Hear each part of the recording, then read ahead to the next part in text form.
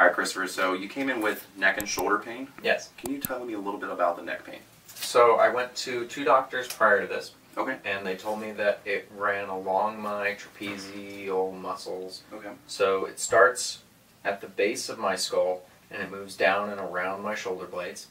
And so they've said that it's just muscular. However, I'm not convinced since Okay. I've been going to physical therapy for a month Okay. and it hasn't resolved. So we need to figure out exactly what's going on. So if you want to follow me, we're gonna go take a thorough exam. See exactly what's going on with you. Okay. Awesome. All right, let's do it. Keep looking as far back as possible.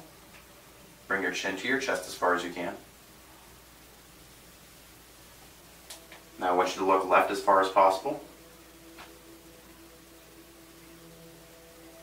And right as far as possible. So you can go a whole lot more to the right. Oh yeah. Because that's bad. How much red are you seeing? Why? A lot, right? Yeah. Smooth right there. Hold as still as possible. Very quick. Okay. All right, Chris, you can close your mouth. First thing we're seeing is you see how straight this portion is right here. Mm-hmm. So we're losing that top curve in the neck. So what's happened is that top bone has dropped down, it's shifted off to the right. And over time, what's going to happen is we're going to start getting this curve back to normal, decreasing and stopping this degeneration process going back to normal. All right, what you do is look back, look as far back as possible, bring your chin all the way up. There you go. That's a lot easier. Yeah. Bring your chin to your chest as far as you can. Perfect. Go back and looking straight ahead. Bend at your waist about 45 degrees. Beautiful. I want you to look to the left as far as you can. Beautiful. To the right. That's a huge improvement. I hope you're excited about that because numbers don't lie, and I know you're feeling a lot better too, right? Yeah. Awesome, awesome. You couldn't move your neck at all, right? No, I couldn't look at you like this. Yeah. Uh, I'd have to be basically where the camera's at for him to be able to see me. So, Yeah.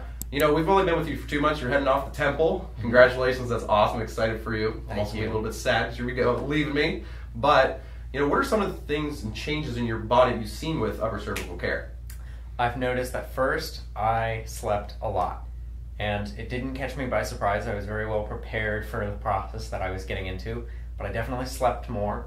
And I started to be able to just move my head. So I had to be really fragile and careful with myself before I came in. And afterwards, I was able to go back to looking around and being able to, when I went to stores, looking up at top shelves and not having to worry about hurting myself. That's huge. So, would you say we've made pretty good progress in the two months you've been coming in? Yep. Yeah, you're going to continue upper cervical care when you get up to I am. good old Temple? Yes. Awesome. If you guys are dealing with any neck stiffness, any tightness in the neck, inability to turn your head, that's usually a really good sign to say there's more than likely an upper cervical misalignment up top. So if you're noticing turning to the left a little bit easier than the right, or vice versa, please give us a call. We'll be able to check you out, see exactly what's going on, get you some results like Christopher got.